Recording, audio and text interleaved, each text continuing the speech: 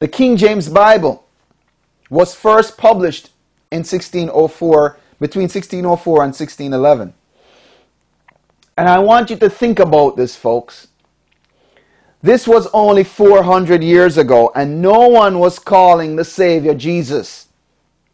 They said, Isus, Isus, Jesus. And, you know, eh, eh, eh, and, and, and, and yet these lying Christian preachers are telling the people that Jesus is the only name by which mankind will be saved. So let me, so I, so I, I want to know this. I want to know this. What about the apostles and all the early believers who never heard of this name Jesus? Are they doomed? I, I, would, I would like to hear someone answer that question. You know, remember the basis of being saved is knowing the name of the Savior. Okay, well, let's read it again. That's one of the bases. Let's put it that way. Acts 4, verse 12. There is no other name under heaven given among men by which we must be saved. That's what the scripture says. And my friends, it is not Jesus Christ. The church leaders really don't care about the truth, nor think that it's important for their followers to know the truth. They have too much invested in the false name Jesus, the same way the Jewish rabbis have too much invested in the pagan names uh, Elohim and Adonai. This is why they cannot accept the truth no matter how much evidence is presented to them. Accepting the truth would mean burning their books. More than that, if they if they should come out and say, well, you know, the name of the Messiah is Yeshua.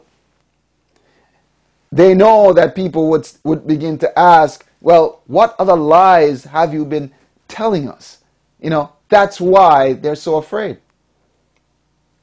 Some of them are trying to use the name Yeshua and Jesus at the same time. You know, they realize that people are catching on to this. Okay? So they're trying to use it at the same time. I, I, I remember the, the minister that Barack Obama got to, to do um, the prayer at his inauguration. He mentioned the name Yeshua. You know, they realize that it's the truth is being told. The truth is getting out. And because people, there's been an increase in knowledge, okay? People can go on and, and research these things now and see it. Okay? I think a lot of people were shocked when during the Passion of the Christ, that movie, they never said the word Jesus. Okay? The apostles never heard the word Jesus. It was made up just a few hundred years ago. And the preachers are telling people that it's the name by which men will be saved. Total lies. You see, when they make a movie like The Passion, they do a little research.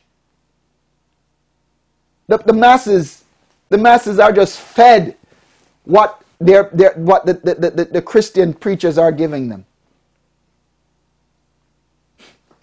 You know, you can't say, well, the Jews, you know, call him Yeshua, and we we're gonna call him Jesus. You know, oh, and, and, and stuff. That that won't work. That won't work. if that if that was the case, well, you know, what if the Hindus call him um, uh, uh, uh, Gandhi, and, and the Germans call him Hitler. What then? You know, would that make it right? You know, you cannot call the Messiah what you want and say that, you know, that name that you came up with is the only name under heaven given among men by which we must be saved. When that name only came into existence a few hundred years ago. That is totally false, my friends. Only the true name will do. Only the true name will do, my friends.